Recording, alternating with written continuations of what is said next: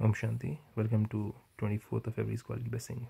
Supreme Father is again talking about complete unlimited disinterest to be successful in service. Let's explore this. May you make the spiritual endeavor for an attitude of unlimited disinterest. It has to be inculcated, this habit or this nature within us or this character within us of unlimited disinterest to emerge while doing service and become an embodiment of success. Unlimited disinterest leads to success. Let's explore that. You receive happiness and power by doing service. When we serve other people, we connect them to the, themselves, we connect them to the Supreme Creator. Then we feel happy and we feel powerful. And it is also in doing service that your attitude of disinterest finishes.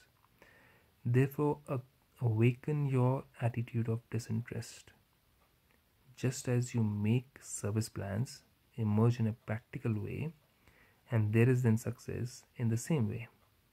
Now let your attitude of unlimited disinterest emerge no matter how many facilities you have attained. Whether disinterest has to be there. No matter how many facilities you have attained do not let your spiritual endeavor for an attitude of unlim- unlimited disinterest become merged.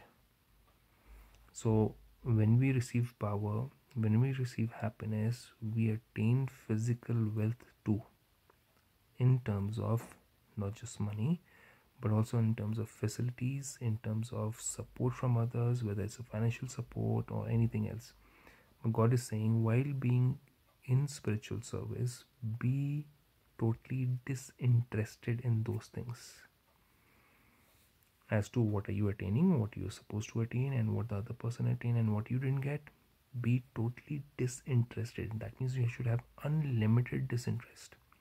One is disinterest but another is total unlimited disinterest. When there is a balance between the facilities and your spiritual endeavor you will become an embodiment of success. So unlimited disinterest helps us to be spiritually inclined as compared to be physically inclined that's what god is saying because being spiritually powerful being spiritually successful material gains will also come. Name fame may also come.